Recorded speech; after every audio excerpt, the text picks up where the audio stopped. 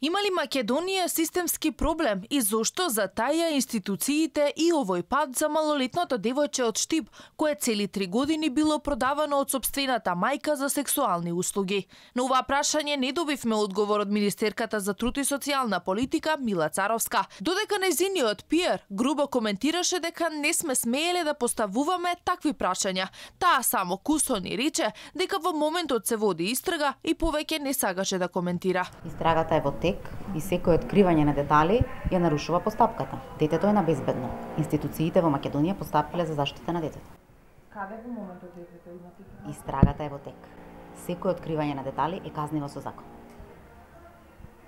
Кога кој Благодарам. да го истражувате ова министерке? Кога почнате да го истражувате овој случај пошто станува Истрагата е во тек. Истрагата е во тек.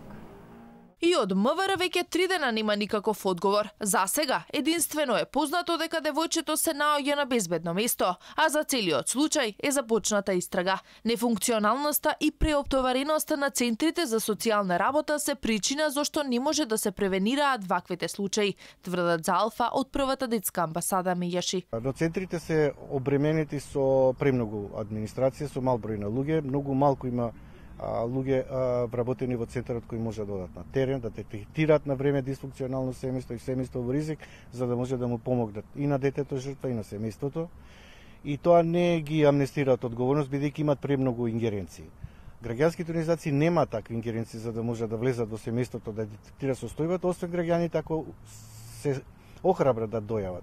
Еве ја користам оваа пригода да го искористат нашиот број 246531602 позивен број за Скопје и да се јавуваат навремено за да можеме ние да ги притиснеме институциите на системот, а вистина да бидат функционални, навремени, брзи, за да немаме трговија со деца. Пред Алфа го откри случајот со малолетното девојче кое цели три години било принудувано на проституција од страна на собствените мајка и брат. Девојчето најправен било омажено во Шведска, а невенчаниот сопруг наместо да се грижи за 11 годишното дете, почнал да ја продава за пари. Како и кој ја информирал шведската полиција за случајот не е познато, но девојчето било пронајдено и веднаш екстрадирано во Македонија. Агонијата не завршила во Шведска, истата продолжила во нашата земја. Незиното семејство, наместо да ја заштити, продолжило да се пазари за девојчето.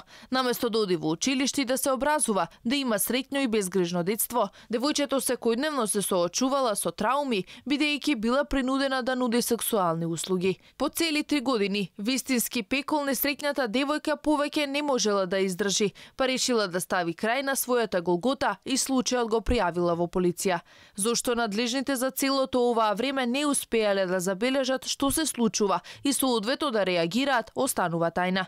Иако бројката на малолетни лица принудувани на проституција сосем сигурно е поголема, според официјалните информации на МВР, минатата година е регистрирано само едно кривично дело – посредување во вршење проституција, во кое жртва е малолетно женско лице, зашто кривично е пријавен еден сторител, а уште една жртва и кривична пријава за сторител се забележани во првата половина од оваа година.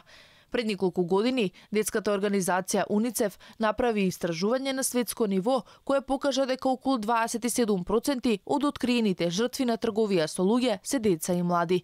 Европската комисија проценува дека профитот од трговија со луѓе во светот годишно изнесува повеќе од 25 милиарди евра.